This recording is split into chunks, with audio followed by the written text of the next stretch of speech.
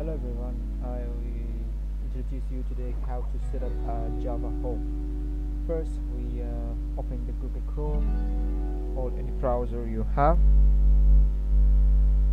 Okay, and type uh, JDK. Okay, and press enter.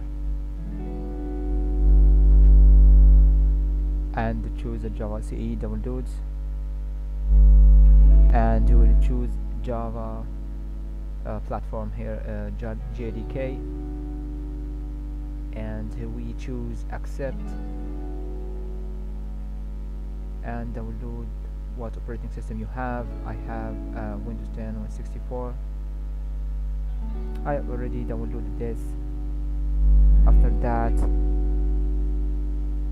we'll show you how you set uh, the environment variables. You set in start you will choose it as a system environments variables. After that you choose uh, environment variables here. You will open. We have to set a system variables and uh, user variables. Uh, in a system first locate the java download folder files. Okay there is a JDK and JRE we click on JDK bin and copy the path here. In the system variables we click uh, search for a path and click new. We pass the path here and we'll go to the JRE and do the same. And bin folder. Copy the path. And pack again to the system variables and choose new and paste again.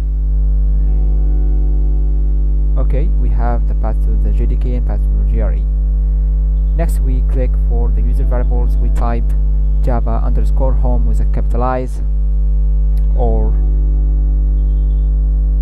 capital. And we're looking for the path again for the JDK JDK okay. And you copy the path and pass here in a variable value and click OK. And we'll type for a CMD for the command lines and we'll check for Java space version. Yes we have